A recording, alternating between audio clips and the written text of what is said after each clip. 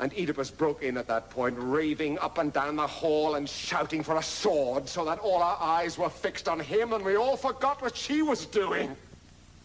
That wife of mine, that wife and mother, he shouted.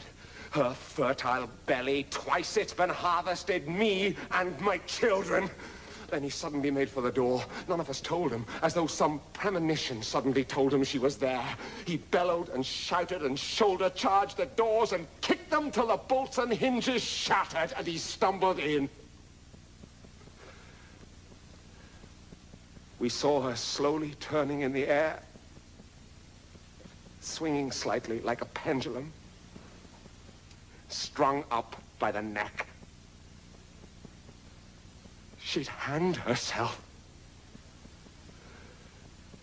The king ran to her, loosed the ropes, and lifted her down, all the while groaning heartbreakingly, like an animal. He laid her gently on the floor, and then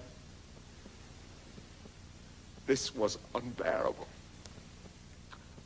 The worst of all. There were two golden brooches pinned on her dress.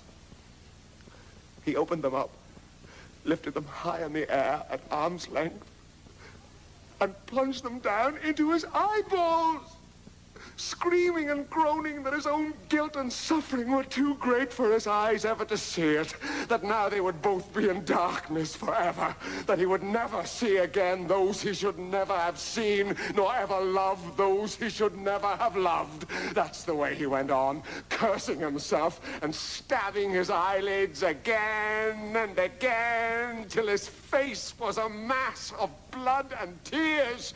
Not drops of blood, but like a thunderstorm or cloudburst gushing down his cheeks.